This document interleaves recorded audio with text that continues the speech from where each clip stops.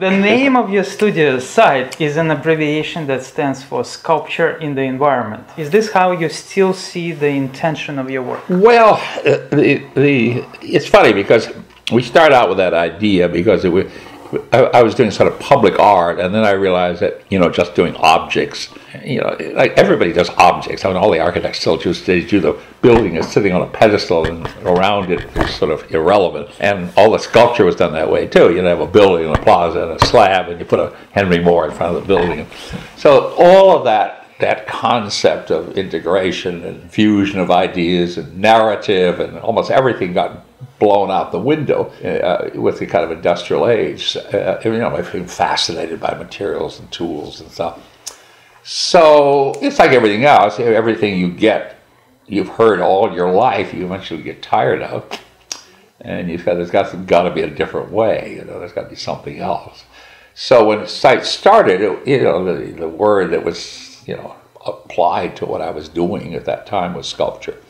And then as we got into it, I began to, we sort of lost that. We just began just calling it site, you know, by being on the site or, well, the site became important, the context became important. And, you know, we quickly realized that, you know, you, you, you really, the more you include, the more interesting it gets and uh, so that was the more you include whatever whatever's around it, it and, and, be, and around be, you yeah, is architecture, right? Yeah, so well, well how... around it can be lots of things. Okay. You know, sometimes it's physical, sometimes it's nature, sometimes it's psychological, sometimes it's information. I mean, with the early buildings, you know, it's very funny. It's just like everybody's rediscovered these best buildings again in the last year. Well, literally every day, I get some request from somebody who wants to you do something with them, you know, reinterpret them. Did you try in every store to uh, emphasize a particular critique? Well, all of them. I think I, I would say almost all of my work is, is come somewhere doing something with the process of construction. They're doing something with either inverting it or exaggerating or changing it or doing something with the process of, of, of building. I've always thought that was always more interesting than the finished building it's kind of a commonplace thing. Like, you know, every time I saw something half built or taking it down or moving it or whatever, I always thought that process was far more interesting than the finished product. So all of them were about taking things apart or removing them or making jigsaw puzzles or making, uh, you know, nature out of them or doing something, some inversion or some attack on an architecture. Attack. Yeah, okay. an attack on architecture. Yeah. Attack and Architecture. Yeah. that's a good title. yeah, it is. It, was. But that's why it was so controversial. We got, you know, when we first started getting a lot of publicity, I remember it's just Architecture magazine used to go berserk. You know, one would publish it and then the next issue would always have these outraged architects cancel my subscription. You know, they would.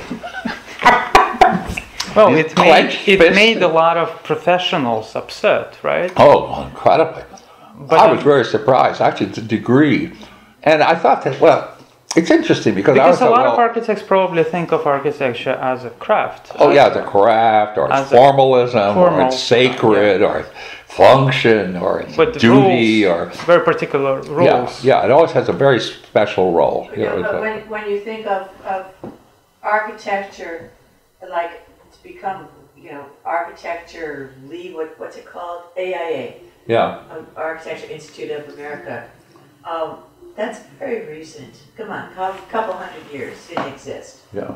Now suddenly came along, and then some people decide if you're not one of us, you're not one of us. It's crazy because what, what was that? Tell me that beautiful quote of Max Protetch. Oh yeah, this is very funny. Yeah, because uh, well, after I started doing buildings, everybody just said you're an architect. You know, and, uh, you know, I, I, didn't study architecture, but I, I knew a lot about it because when I was a kid, actually, my father was an engineer, so he got all his sons to help him build houses. And then he would sell them in summer houses. And he would sell them in the winter, and then you'd build another summer house. And he'd sell it in the winter, you'd build another one. So we had a lot of experience in building. I mean, I knew more about how to build and all the tools and the materials and construction and tensions and when I was 14 years old than most architects know when they get out of design school. So I knew a lot already.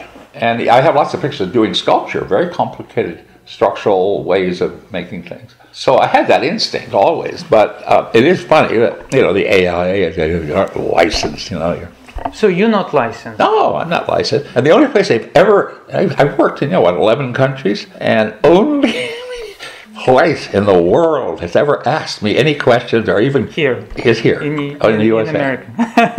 the only place I've ever, ever been asked. Speaking about your drawings, you said, I consider drawing more as a way of exploring the physical and psychological state of inclusion, suggesting that buildings can be fragmentary and ambiguous as, as opposed to conventionally functional and determinate. So I'm very interested in this idea uh, that buildings can be fragmentary and ambiguous. What was, what was it initially that triggered your interest in this direction?